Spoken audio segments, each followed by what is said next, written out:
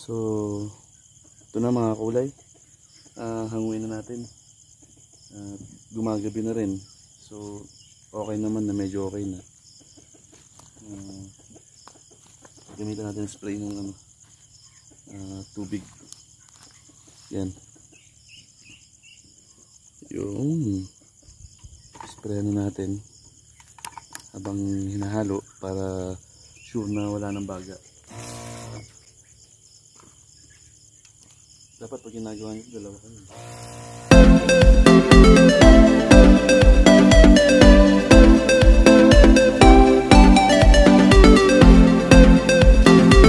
Make sure na wala ng baga. Ulitin pa natin ulit.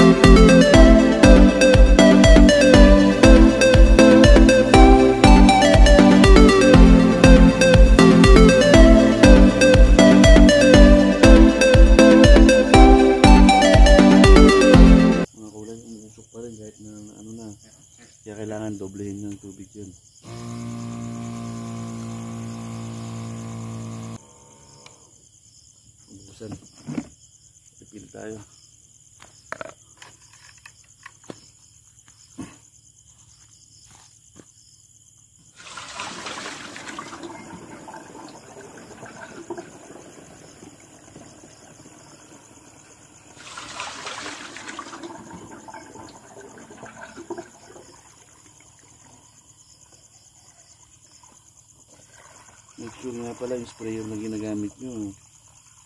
Hindi ginamit sa sa gamot. Lalo na kung ginamit sa pamatay damo. Yung mga glyposil ah ano pa yung isa? Brown out.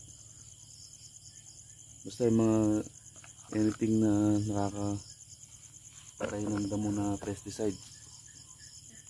Kailangan walang walang ganun na ginamit sa sprayer nyo kung maaari bago. Kasi pag ginamit nyo dyan yan yung pesticide naka ano dun sa, sa loob ng sprayer nakapondo yung natitirang gamot so pag in-spray nyo dyan yan pamatay ng damo ang natirang liquid sa loob ng sprayer nyo hahalo yan dyan sa carbonized rice, rice hull nyo pag tinaniman nyo ng gulay yan or any plant na itatanim nyo, walang mabubuhay for sure. Tandaan nyo. Kasi pangdamo yun eh. Pesticide yun eh, pangdamo.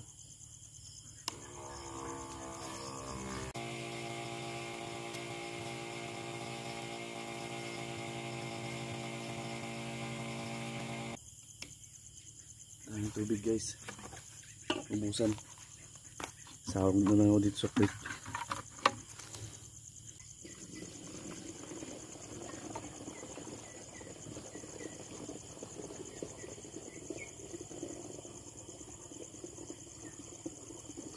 musok pa. Kaya kailangan ulitin pa natin yun. Hmm, tuyo. May possibility na magliyab yan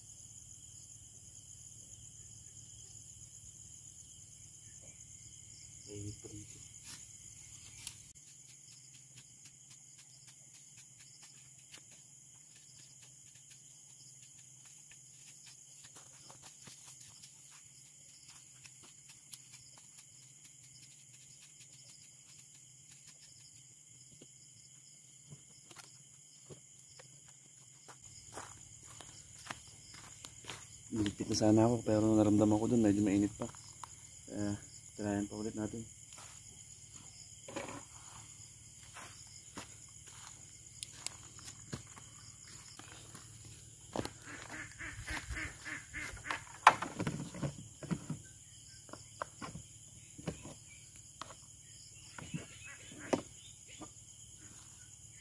Tayo. Parang hindi ganong pino.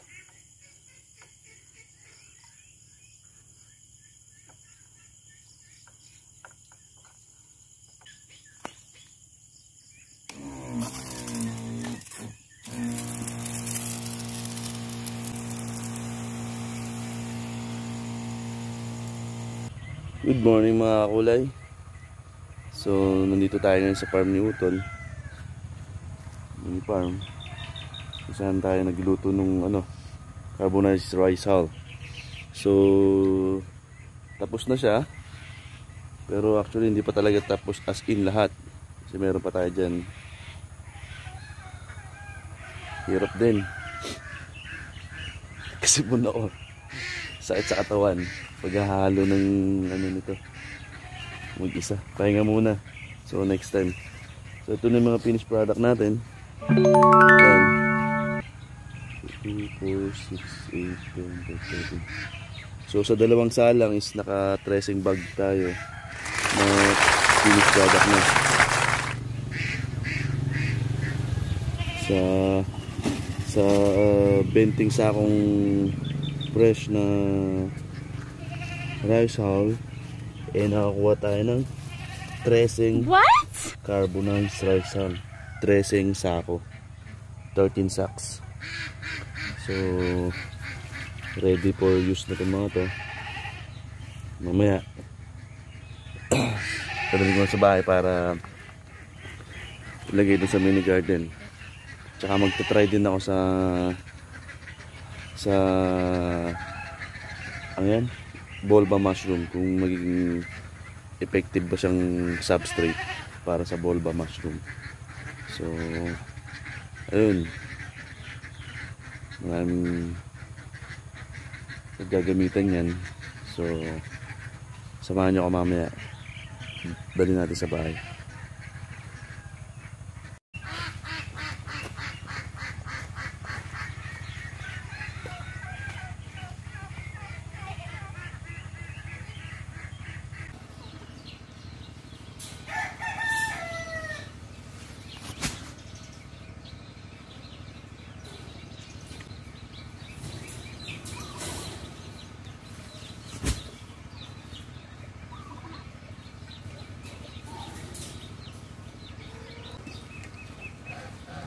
Rồi, tay. À, tay.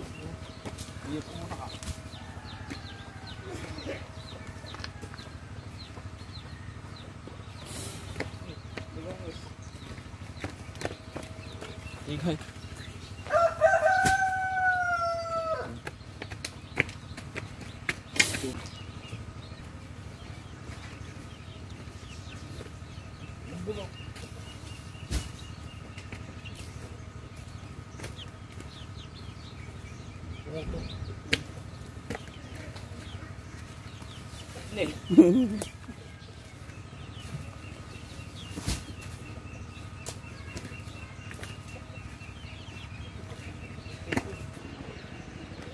mga kulay. Dinala na namin lahat dito yung mga nagawa nating carbonized rice hull sa ating mini garden. Kasi yun naman, ito naman talagang main reason kung bakit ako gumawa niyan. Para sa aking mini garden.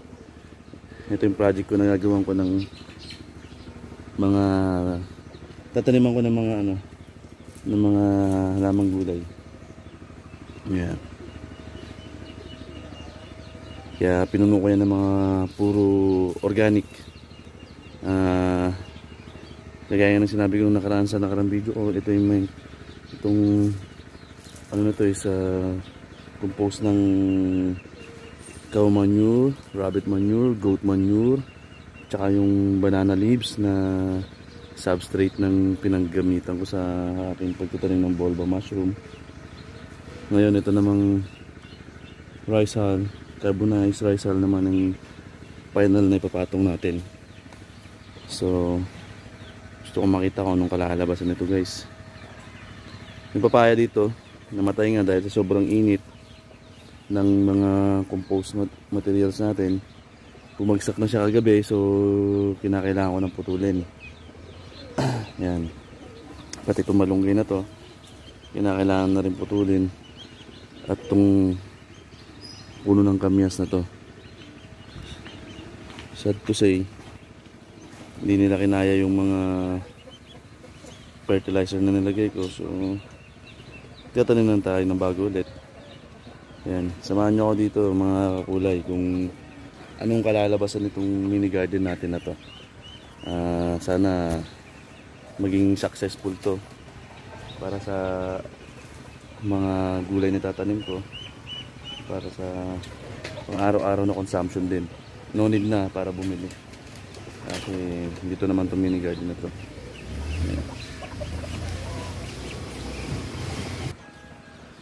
Nalo ko na rin dito yung mga nalaglag na bunga ng papaya. Yan. Para kainin ng mga ating mga African nightcrawler na mga bulati. Yan. Sila na bahala dyan para sa compost.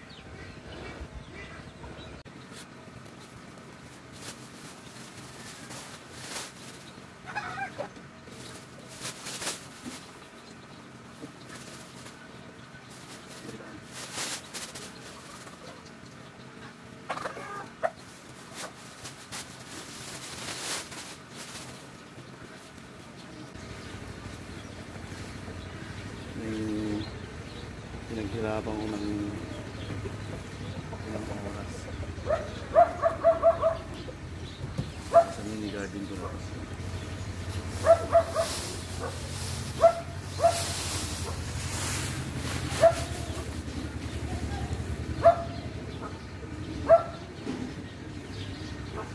Siguro magtitira tayo ng tatlong sako para sa ano, ah, uh, natin ng mushroom, bolba. Try natin to. Yung ubra.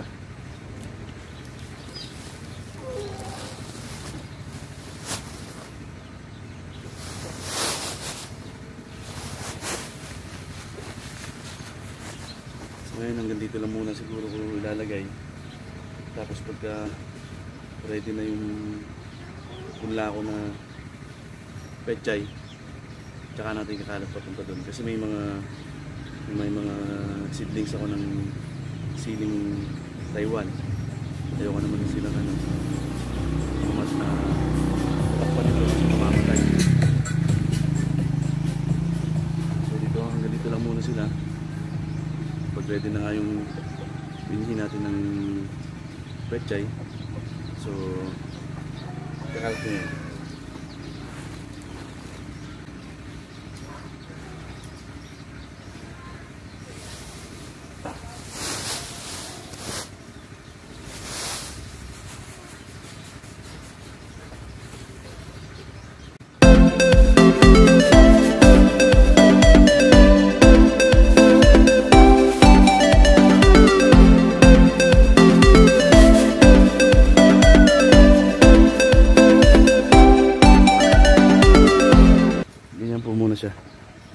Na natin ikalat pagka yun nga, ready na yung pula.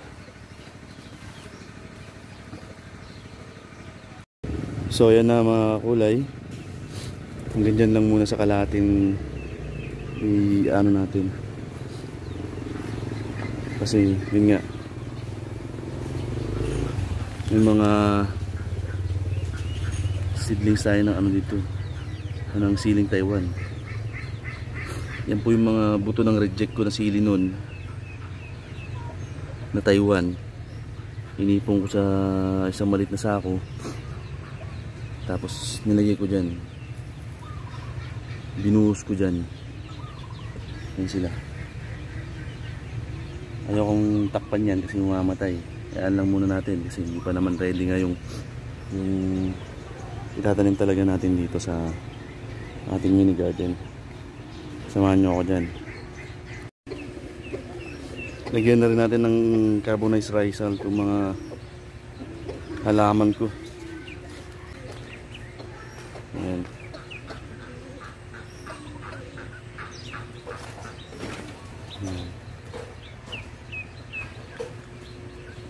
Wala silang ano eh.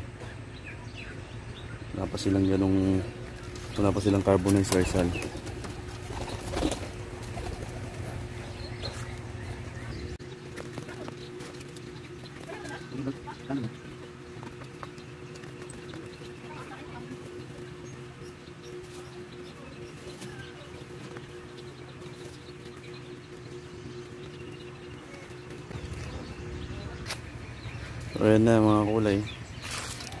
Tapos na nating nigyan ng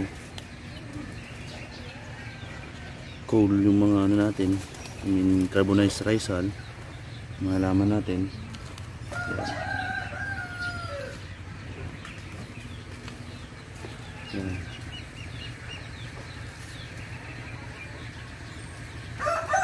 Ito na yung mga ano natin, mga kulay. Yung mga binhi ng siling demonyo to. Yan. Tapos ito yung petchay. Yan. Natuyo. Natuyo ang petchay. Napabayaan ko po dahil dun sa paggawa ko ng carbonized rice hull. Sa loob ng isang araw eh medyo nadaligan eh medyo may mga namatay. Yan. Kasi ito yung sili, palpak. Ay, kamatis pala to. Palpak ang tubo dahil na-expose sa ulan. Yung umulan. Papansin yung mga butas ng tray is uh, ang lalalim. Ibig sabihin, napatakan ng ulan po yan. Mga buto, nagkalat na siguro somewhere dito sa lupa. Yan, kaya ulitin natin naglagay pero this time using carbonized rice hull naman. Tingnan natin kung anong resulta. Ng mga kulay. Yan. Nalagyan na nalagyan ko na ng ng carbonized rice hull po yan. Itang itatanim po natin yan si isang itong kamatis na to. Para siyang mukha siyang cherry. Itong isang kamatis na to, malalaki sana to eh. Tsaka na sana to eh, kaso hindi tumubo yun. Next season na sana to. Kaso hindi tumubo yun. So ito yung pupunta natin ngayon.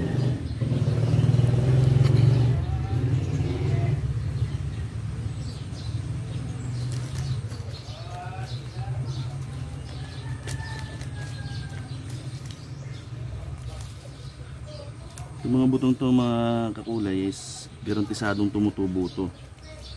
So hindi nyo kailangan ng damihan ang lagay sa kada butas. Okay na yung dalawa kung malalaglag yung dalawa, isa ganun. Kasi ano na to, dumaan sa mga laboratory nila to. Certified seeds, kumbaga. Tutubo-tutubo yan. Sasablay yan, minsan lang. Hindi ganun karaming mortality rate ng buto nila. Isa lang. Yung napasobra, tanggalin nyo. So yung dalawa, okay na. Ano, nagkinukonsider ko na yung dalawa. Marami naman. Iwalay ko na lang pagka taniman na dun sa ano, sa bed.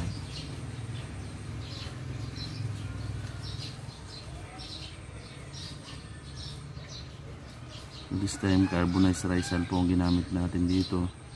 Dun sa mga naunang binhi natin is sa lupa lang. Black earth. Uh, tingnan natin kung anong difference between carbonized rice hull tsaka black earth.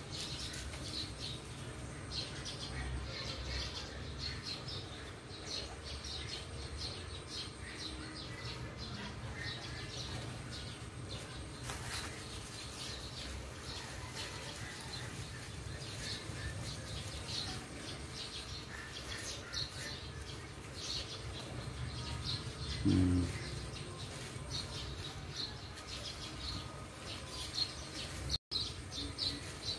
Ito mga kulay.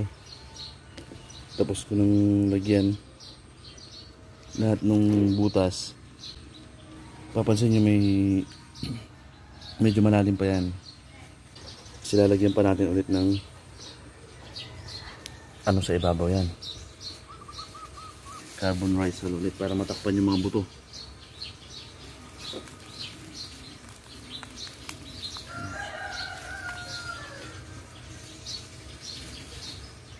Yan. Make sure na yung buto is nakalubog para tumubo.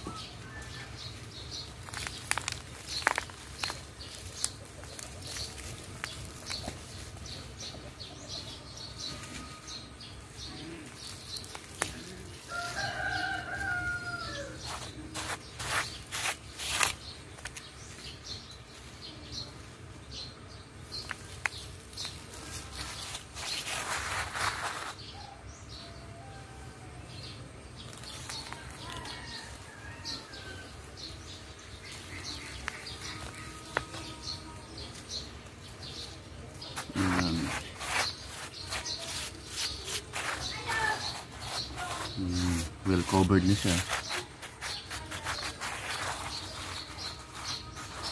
Okay. So, didiligan na natin. Ito lang. Kung hindi dilagan ng masyadong maraming tubig or masyadong malakas ang volume, aanuhurin na naman yun. Sa basahin nyo ng maigi. Pasok naman sa loob yung tubig na yun.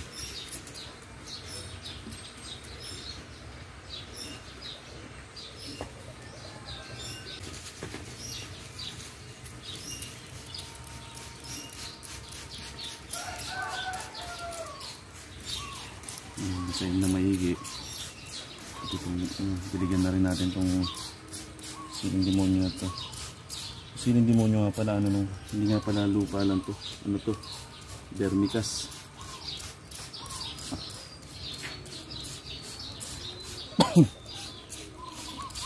yung compost ng mga bulati natin. Tayo ng bulati po yan. So, yun lang.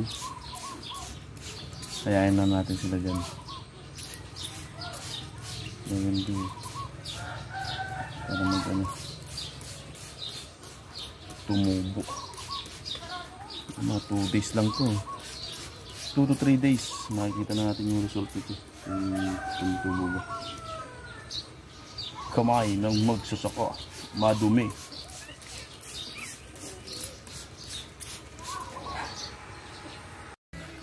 Ito mga kulay. Tamnan natin itong isang ano naman ng ano ampalaya.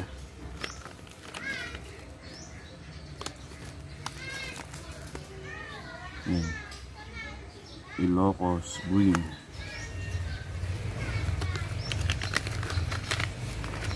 Kunti lang naman itong naman. So, pwede mo tagi isa dyan.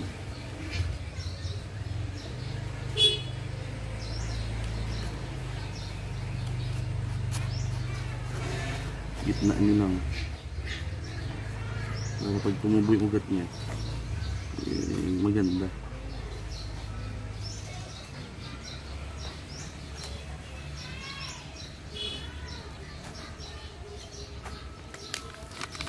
Ang pilang buto nito. Wala na. So, 1, 2, 3, 4, 5, 6, 7, 8. 16. 20 seeds lang, laman.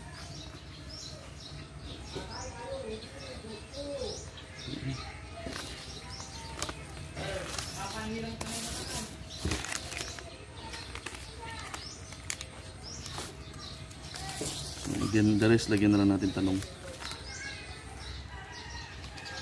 Green seeds. Genesis eggplant.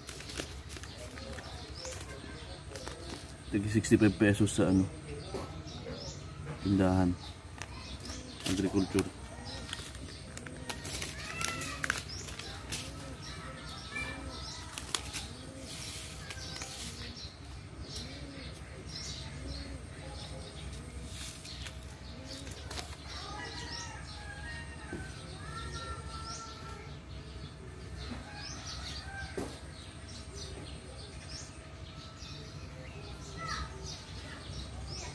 Yan dati tag-isa lang. O dalawa. Okay na. Yan ang sinabi ko this is a uh, good seed.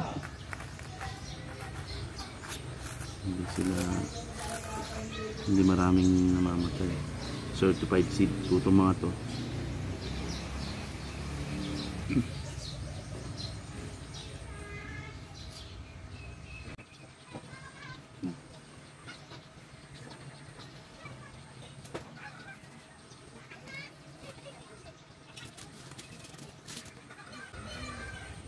yung mga iba dito pag hindi pagka sumobra dun sa mini garden ko pamimigay ko na sa mga gusto rin magtanim ng talong, sili pechay.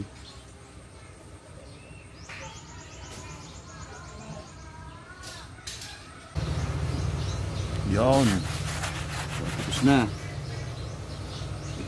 na naman. Cover na naman po natin sila ng rice rice carbonized rice sa ibabaw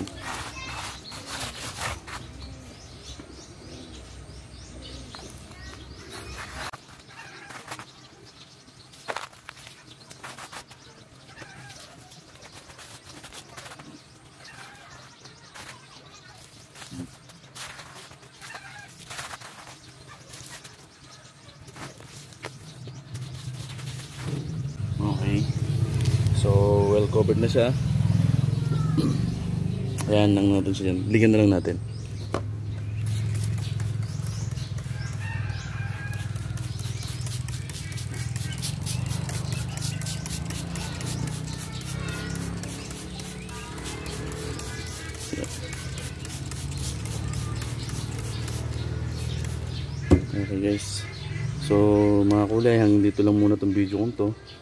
Pa naman pwedeng itanim to, hindi pa tumutubo.